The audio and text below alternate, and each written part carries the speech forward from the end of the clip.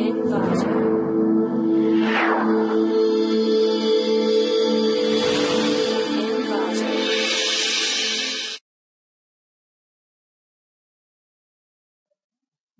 to clickmyproject.com. The title of the project is Deep Learning in Skin Disease Image Recognition, a review. And the abstract of the project is the largest organ of our human body is skin. And skin cancer is most predominant type of cancer that influence millions of people per annum. Survival rate of patients decreases steadily if cancer is not detected in early stages. However, early detection of cancer is a very strenuous and costly process.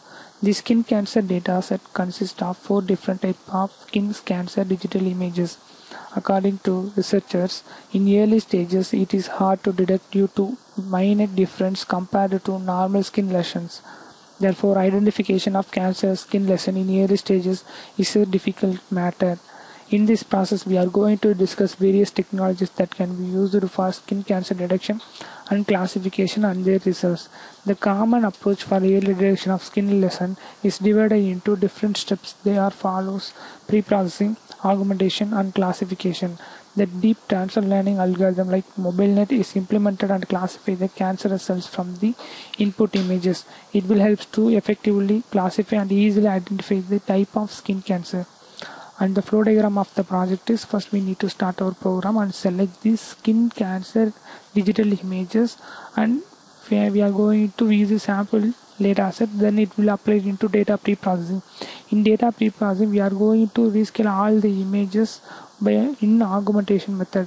In augmentation we are going to generate the image samples and after that we need to receive the images and convert it into array.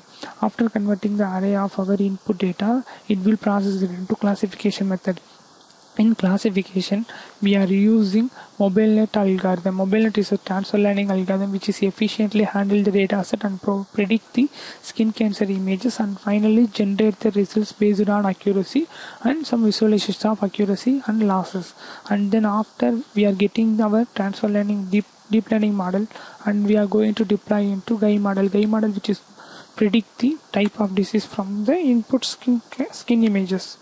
The program was successfully executed in Anaconda Navigator Spyder IDE and in that I have to use the three different types of data set data set of skin cancer images. In training folder contains four different classes and found the images is 1012 images and test class contains 116 images and validation class contains 128 images and I'm going to generate the image samples by using image data augmentation.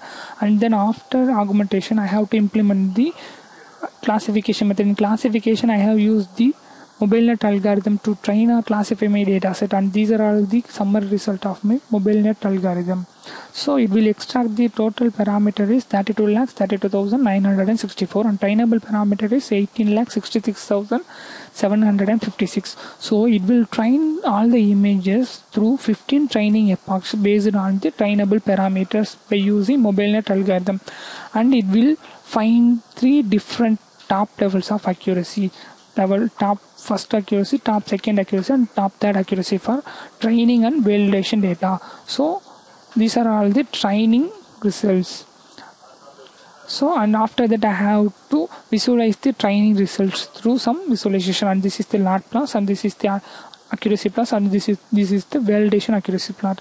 And the final validation accuracy of three different top accuracies top first accuracy is 72 percent 0.5 percentage top 2 accuracy is 0.6 and top 3 accuracy is 0.7 so if you want to add more accuracy means you need to increase your training epochs and i'm going to save the model as .h5 extension and i'm going to deploy the model into graphical user interface.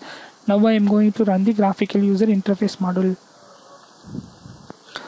So this is the graphical user interface model dialog box. In that i am going to import images from our dataset directory so i'm going to choose on images and i'm going to show the images and i'm going to predict the images exact what is the disease it have. So it shows melanoma so it correctly predict the disease. So now i'm going to check again another disease. So in that i'm going to choose ringworm. So i'm going to show the images and predict the images. It shows ringworm. Is this correct? So i'm going to check another type.